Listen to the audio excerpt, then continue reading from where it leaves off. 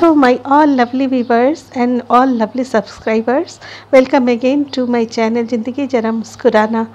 आज का ये प्यारा मगर छोटा सा वीडियो मैं शेयर करने जा रही हूँ अपने उन फ्रेंड्स के साथ, खासकर जिनके पास खुली जगह का बहुत अभाव है।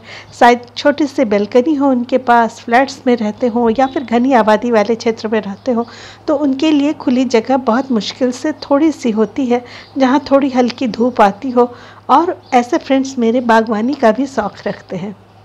तो फ्रेंड्स मेरा ये थीम अपने बैल्कनी में क्रिएट करें या फिर अपने छोटे से एरिया में आप क्रिएट करें, आप देखें लोग आपकी वाहवाही करते थकेंगे नहीं। फ्रेंड्स थीम के साथ ऑर्डिनरी प्लांट्स को शामिल करिए और बना लीजिए अपना क्रिएशन जो कि आपका अपना खुद का बनाया हुआ होगा।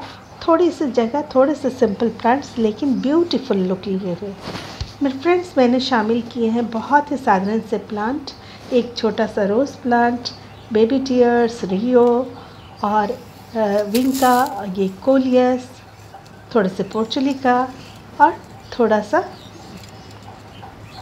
Purple heart. ये सारे प्लांट्स को मैंने मिला करके ये छोटा सा थीम तैयार किया है और मैंने चुना है सूर्य मंदिर को, जो कि कोनार्क का बड़ा ही स्पेशल मंदिर है। तो इसका एक छोटा सा एक डेकोरेटिव पीस मेरे पास था, मैंने उसे ही चूज़ किया है। यहाँ एक टेंपल का लुक दिया है और इस जगह को बड़ा ही पवित्र और होली बना दिया है। तो फ्रेंड्स आप भी इस तरह के जो पुराने कुछ स्टैचू या फिर कुछ इस तरीके के पीस हो आपके पास तो आप उन्हें सजावट के लिए यूज़ करें और इस तरह का एक थीम क्रिएट करें। तो ये देखिए, मैंने छोटी छोटी सीढ़ियाँ बनाई हैं, उनके दोनों तरफ़ स्टोन्स रखे हैं और उसके बाद टाइल्स से ये मैंने बेस बनाया है, उसके ऊपर मैंने दो स्टेप्स डाल करके, फिर उसके ऊपर मैंने टेंपल को रखा है। ये देखिए स्टेयर्स।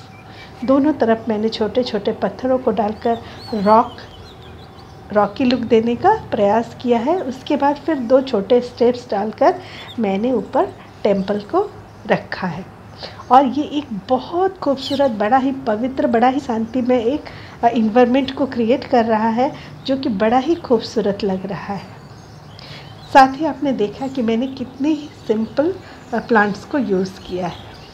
तो ये देखिए टेंपल इतना प्यारा सा ये पीस तो इस तरह के डेकोरेटिव पीस हम सभी के घर में बहुत सारे रहते हैं तो उनका यूज़ कीजिए आप। उनसे आप एक थीम बनाइए और उसके बाद उसे छोटे छोटे ऑर्डिनरी प्लांटर्स को लेकर और उसमें ऑर्डिनरी प्लांट्स से लगाकर उसको आप खूबसूरत सा लुक दे दीजिए। यकीन मानिए आपके वो ऑर्डिनरी प्लांट्स ऑर्डिनरी प्लांटर्स दोनों ही इस तरीके से सजाने के बाद खास लगने लगते हैं, बड़ा ही ब्यूटीफुल लगने लगते हैं। तो ये सारे चीज़ें आपके घर में आप आसानी से बना सकते हैं छोटे छोटे पॉट्स चुन सकते हैं उन्हें क्रिएटिविटी के साथ आप बहुत सारे काम में ला सकते हैं, बहुत तरह की चीज़ें बना सकते हैं तरह तरह के प्लांट्स को यूज़ कर ये खूबसूरत सा थीम क्रिएट कर सकते हैं। तो आज का ये वीडियो मेरे उन फ्रेंड्स के लिए जिनके पास बहुत ही कम जगह है, लेकिन वो बागवानी का शौक़ रखते हैं और इस तरह का कुछ खास थीम को शामिल कर वो अपने बागवानी को एक ख़ास लुक दे सकते हैं और बहुत सारे प्लांट्स को शामिल कर अपने बागवानी के शौक़ को पूरा कर सकते हैं। तो फ्रेंड्स आज का ये वीडियो आपके लिए कितना यूज़फुल रहा, आपको कितना अच्छा लगा? खासकर जिनके पास कम जगह है, वो मुझे ज़रूर बताएँ। और फ्रेंड्स सब्सक्राइब करें। बेल बटन को दबाना बिल्कुल ना भूलें। लाइक करें। हो सके तो मेरे वीडियोस को शेयर करें ताकि आपके इसी तरह के और फ्रेंड्स हो, जिनके पास जगह कम हो तो वो भी लाभ उठा सके। तो फ्रेंड्स तब तक के लिए बाय मिलता है अगले वीडियो में।